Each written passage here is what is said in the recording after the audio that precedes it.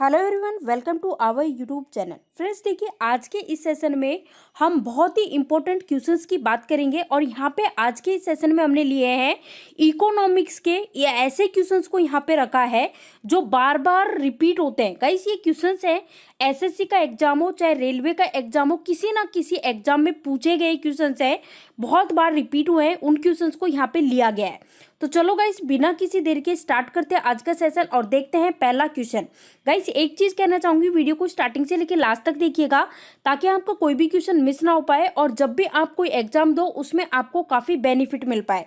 Video अगर आपको पसंद आता है तो लाइक और शेयर ज़रूर कर दीजिएगा, ताकि देखिए ज़्यादा से ज़्यादा आप शेयर करोगे तो उससे क्या होगा ना ज़्यादा से ज़्यादा लोग यहाँ पे जुड़ पाएँगे। तो चलो देखते हैं पहला क्वेश्चन, और पहला क्वेश्चन आपके सामने है।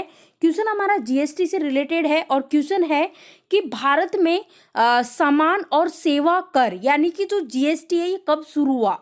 तो यहाँ पे देखो जीएसटी की बात करें तो इसका पूछा है कब शुरू हुआ और इसके लिए यहाँ पे चार ऑप्शन दिए गए। आठ नवंबर 2016 पंद्रह अगस्त 2017 या फिर एक जुलाई 2017 या फिर 26 नवंबर 2017 तो गई यहाँ पे भारत का पूछा है और भारत की बात करें तो भारत में जीएसटी शुरू हुआ कब? एक जुलाई 2017 को। आंसर जो हो जाएगा, ऑप्शन सी है, ये यहाँ पे करेक्ट आंसर हो जाएगा। गाइस देखिए जीएसटी की बात करें तो इस पर ऑलरेडी एक अलग से वीडियो बनाया कर, डाला हुआ है। तो उसका जो लिंक है वो प्रोवाइड कर दिया जाएगा डिस्क्रिप्शन बॉक्स में या वीडियो के लास्ट में। हाँ यहाँ पे एक और चीज़ आपको देखनी है। कई बार एक और क्वेश्चन पूछा जाता है जीएसटी की फुल फॉर्म पूछ ली जाती है। तो हिंदी में आप देख सकते हो क्या है जीएसटी की फुल फॉर्म सामान और सेवा कर। और इंग्लिश में बात करें गुड्स एंड सर्विस टैक्स इसको बोलते हैं इंग्लिश में। अब यहाँ पे देखो जीएसटी से रिलेटेड एक और क्वेश्चन यहाँ पे ये बनता है कि जो जीएसटी काउंसिल है, इसका मुख्यालय कहाँ पे है? गाइस जीएसटी काउंसिल की बात करें तो इसका मुख्यालय नई दिल्ली में। और यहाँ पे देखो जीएसटी की बात करें तो सबसे पहले वो कौन सा देश है जिसने जीएसटी लागू किया? तो सबसे पहले किसने किया? फ्रांस ने। नेक्स्ट यहाँ पे क्वेश्चन है कि जो जीएसटी है, इसको लागू करने वाला पहला देश कौन सा था? अभी अभी मैंने इसका आंसर बता चुकी हूँ। सबसे पहले जीएसटी किस देश ने लागू किया? फ्रांस ने। आंसर हो जाएगा, फ्रांस यहाँ पे करेक्ट आंसर हो जाएगा। फ्रांस की राजधानी क्या है? पेरिस। नेक्स्ट यहाँ पे क्वेश्चन है कि भारत में श्वेत क्रांति का जनक किसे माना जाता है? ये यहाँ पे पूछा है। गाइस ध्यान दीजिएगा, श्वेत क्रांति का पूछा है और इसके लिए ऑप्शन हैं। Option A doctor Verghese Kurien. या फिर ऑप्शन बी, डॉक्टर एस के भारद्वाज, या फिर ऑप्शन सी, मोरारजी देसाई, या फिर option D, S H Rao. तो यहाँ पे करेक्ट आंसर हो जाएगा। ऑप्शन ए यहाँ पे करेक्ट आंसर हो जाएगा, क्योंकि पूछा है श्वेत क्रांति का। तो देखो, भारत में श्वेत क्रांति का जनक माना जाता है डॉक्टर वर्गीस कुरियन को। और अगर हरित क्रांति का पूछा जाता तो क्या आंसर होता?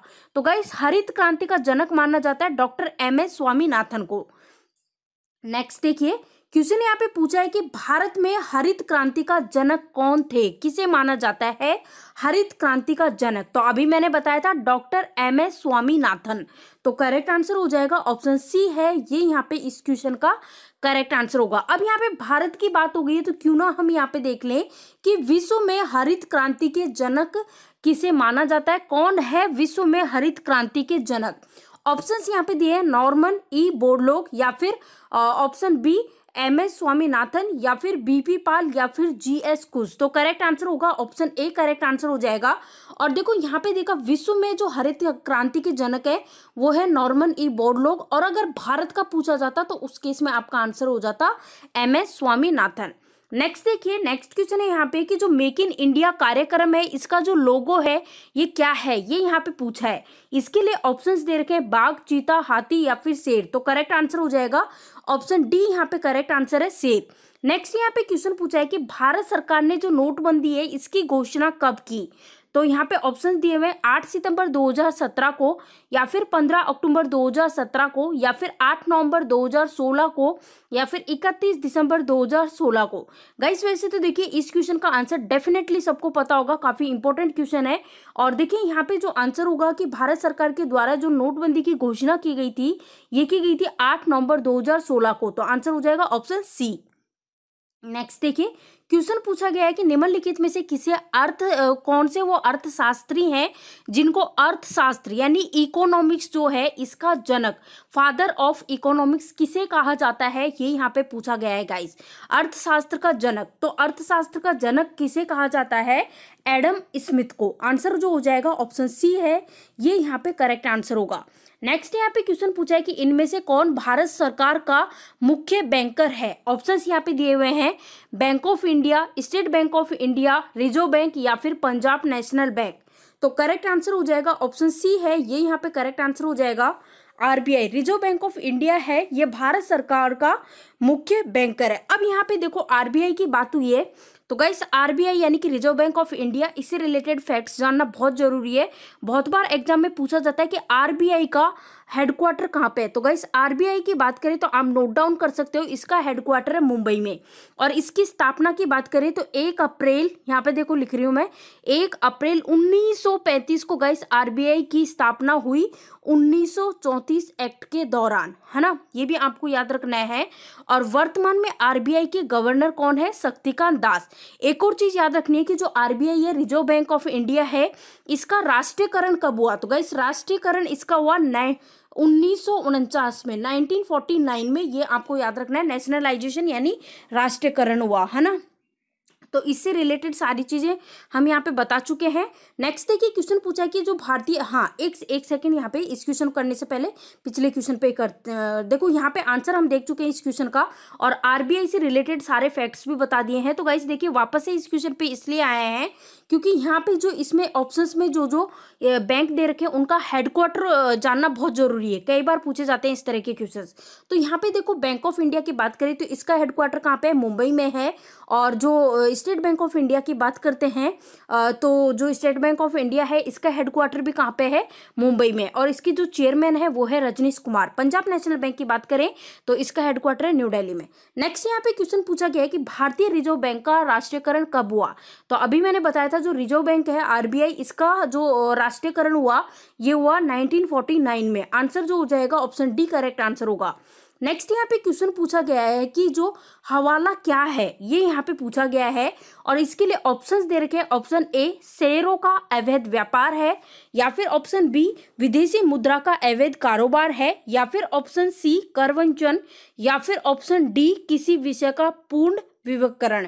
तो यहाँ पे अगर बात करें हवाला की तो हवाला जो है, ये किसी मतलब जो विदेशी मुद्रा है, इसका अवैध कारोबार है तो आंसर हो जाएगा ऑप्शन बी नेक्स्ट यहाँ पे क्वेश्चन पूछा गया है कि national mineral development corporation of India है।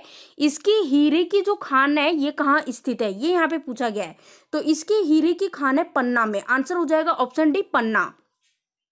नेक्स्ट यहाँ पे क्वेश्चन पूछा गया है कि किस भारतीय राज्य में सबसे अधिक हवाई अड्डे हैं? ऑप्शन ए ऑप्शन ए दे रखा है महाराष्ट्र या फिर नई दिल्ली या फिर पंजाब। पंजाब नहीं सॉरी पश्चिम बंगाल या फिर गुजरात। तो यहाँ पे पूछा है कि कौन सा वो राज्य है जिसमें सबसे अधिक हवाई अड्डे हैं? तो सबसे अधिक हवाई अड्डे हैं गुजरात में, आंसर जो हो जाएगा, ऑप्शन डी यहाँ पे करेक्ट आंसर होगा।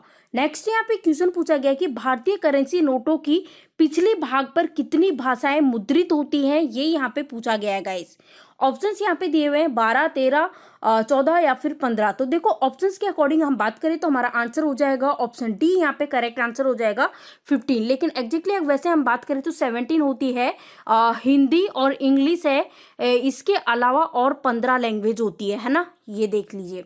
नेक्स्ट देखिए क्वेश्चन है यहाँ पे कि कौन सी संस्था भारत में राजकोषीय नीति तैयार करती है? ये यहाँ पे पूछा है ऑप्शन दे के वित्त मंत्रालय या फिर आरबीआई या फिर नीति आयोग या फिर एसबीआई। तो करेक्ट आंसर हो जाएगा यहाँ पे वित्त मंत्रालय, यहाँ पे करेक्ट आंसर हो जाएगा। जो वित्त मंत्रालय है, ये राजकोषीय नीति तैयार करती है। नेक्स्ट यहाँ पे क्वेश्चन पूछा है कि जो 2000 का नोट है, इसका हमें बताना है कि 2000 के भारतीय नोट पर छपा जो मंगलयान है, ये क्या दर्शाता है? ये यहाँ पे पूछा है और इसके लिए यहाँ पे चार ऑप्शंस यहाँ पे दे रखे हैं। तो गाइस मंगलयान का आपको पता होना चाहिए, जो मंगलयान है, ये अंतरिक्ष में भारत का पहला उद्गम, ये यहाँ पे दर्शाता है। तो आंसर जो होगा ऑप्शन ए करेक्ट आंसर होगा। नेक्स्ट देखिए नेक्स्ट यहाँ पे क्वेश्चन पूछा गया है कि ऑपरेशन फ्लड कार्यक्रम है, ये किस पर केंद्रित था?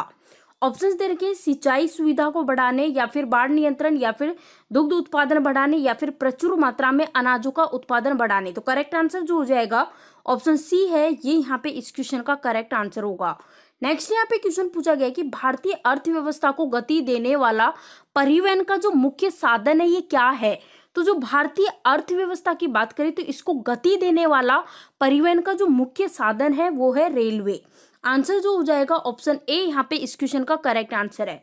नेक्स्ट यहाँ पे क्वेश्चन पूछा गया है कि भारत में जो सेवा कर है, ये किस वर्ष में प्रारंभ किया गया? और यहाँ पे जो चार ऑप्शंस इसके लिए दे रखे हैं इस क्वेश्चन के लिए। तो गाइस यहाँ पे सेवा कर का पूछा है तो भारत में सेवा कर की बात करें तो 94 95 में इसको प्रारंभ किया गया था। तो आंसर हो जाएगा ऑप्शन ए, करेक्ट आंसर है। नेक्स्ट यहाँ पे क्वेश्चन पूछा गया है कि आरबीआई के द्वारा जारी पचास रुपये के मूल्य के जो नया नोट है, नया नोट की बात हो रही है कि जो नया नोट है, इसके पीछे निम्नलिखित में से किसका चित्र छपा हुआ है? तो इसके पीछे छपा हुआ है फिफ्टी रुपीज़ की बात करें तो हम्पी के पत्थरों से बना जो रथ है, इसका चित्र है। और यहाँ पे फिफ्टी रुपीज़ की बात करें तो गाइस इसका डायमेंशन भी आपको पता होना चाहिए। तो sixty six M M into one thirty five M M ये क्या है? डायमेंशन है। यानी कि जो हाइट है वो सिक्सटी सिक्स एम एम है और विथ यानी कि जो चौड़ाई है वो है one thirty five M M है ना? तो ये हम देख चुके हैं। आंसर डी यहाँ पे करेक्ट आंसर है। अच्छा एक और क्वेश्चन यहाँ से बनता है कि जो पचास रुपए का नया नोट है, उसका कलर भी आपको पता होना चाहिए। तो कलर है फ्लूरोसेंट ब्लू। अब यहाँ पे देखो, मंगलयान की बात करें तो ये किस पे है? गाइस, मंगलयान की बात करें तो 2000 के नोट के पीछे की तरफ़ क्या बना हुआ? मंगलयान। मंग, और यहाँ पे 2000 का नोट है, इसका जो डायमेंशन है, वो है 66 six into one six six. और इसका जो कलर है, वो है मेजेंटा। सांची स्तूप की बात करते हैं तो सांची स्तूप है, वो 200 के नोट के पीछे है। और यहाँ पे अगर देखो ये 200 के नोट की डायमेंशंस की बात करें तो 66 six into one four six ये डायमेंशन है इसके।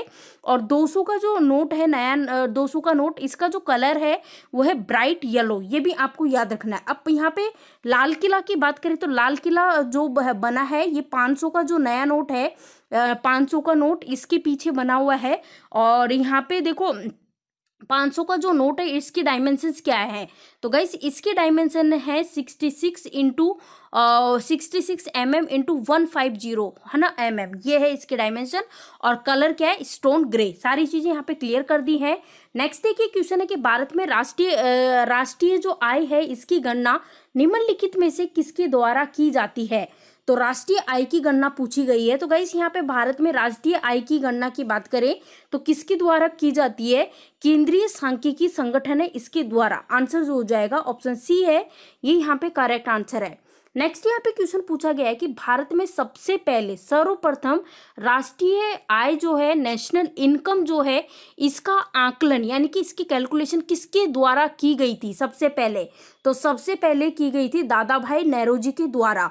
आंसर जो हो जाएगा ऑप्शन सी, यहाँ पे इस क्वेश्चन का करेक्ट आंसर होगा। नेक्स्ट यहाँ पे क्वेश्चन पूछा गया कि राष्ट्रीय ग्रामीण स्वास्थ्य मिशन है कब शुरू हुआ? तो राष्ट्रीय ग्रामीण स्वास्थ्य मिशन की बात करें तो ये शुरू हुआ अप्रैल 2005 में। आंसर जो हो जाएगा ऑप्शन ए है।